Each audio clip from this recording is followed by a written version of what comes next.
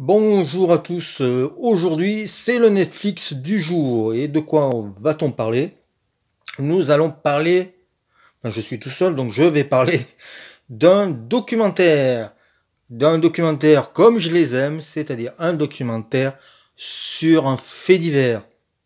Alors ce documentaire s'appelle Monster of Florence, c'est un Netflix et ça, c'est un documentaire qui se passe en Italie. Juste avant de commencer de pour, vous dire de quoi ça parle, euh, c'est une publication sur Facebook qui m'a donné envie de voir ce documentaire, puisqu'il a déjà quelques années, j'étais passé complètement à côté.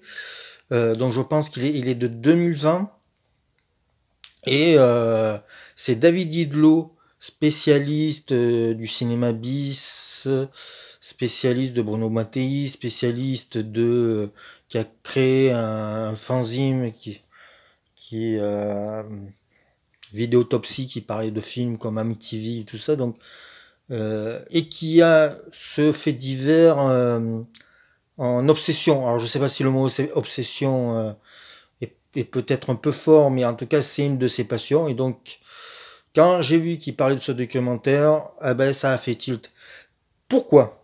Du coup, je l'ai regardé parce qu'il a juste dit qu'il y avait ce documentaire sur Netflix et point barre. Mais souvent, les obsessions des autres euh, éveillent votre propre obsession.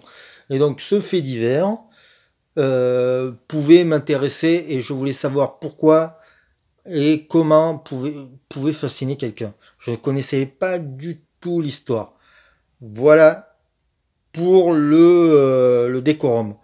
Donc, euh, Monster of Florence, c'est un fait divers, un cold case, donc ça veut dire qu'on n'a malheureusement pas trouvé le coupable, qui a commencé fin des années 60 et qui s'est terminé milieu des années 80.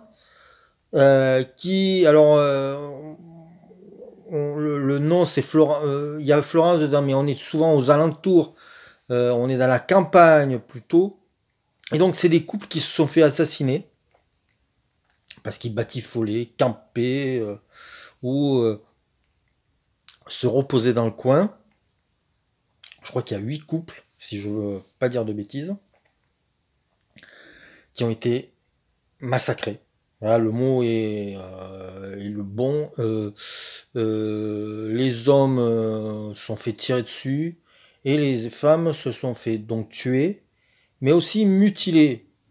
Euh, on leur a enlevé le vagin ou coupé un sein. Donc vous voyez que on est dans le, euh, on n'est pas dans la joie de vivre. C'est terrifiant, c'est glauque, c'est malsain.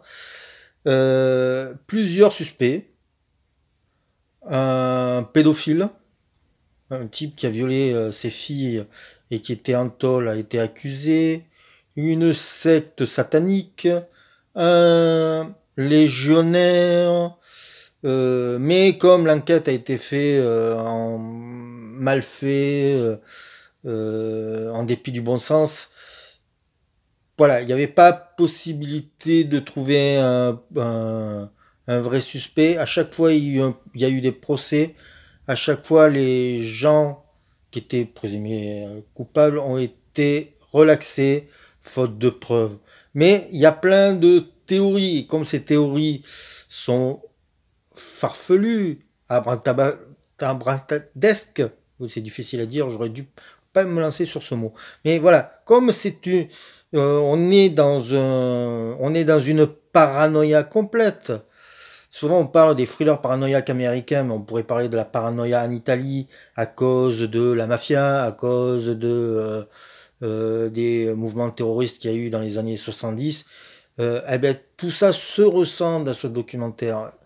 Euh, euh, c'est un pays particulier, c'est un pays passionnant et euh, j'avais déjà fait un, une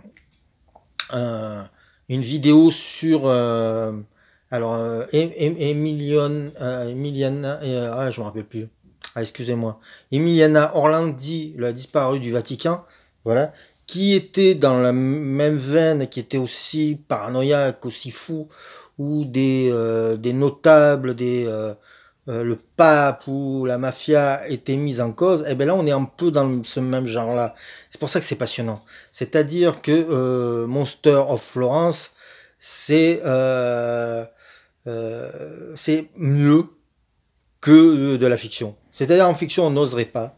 On dirait non, c'est trop, ça va, ça va paraître trop gros. Et, comme c'est vrai, comme vous allez voir euh, ce documentaire, les, rebondissements euh, s'enchaînent les uns après les autres, ce qui est même dommage par rapport à ce documentaire qui ne fait que 95 minutes.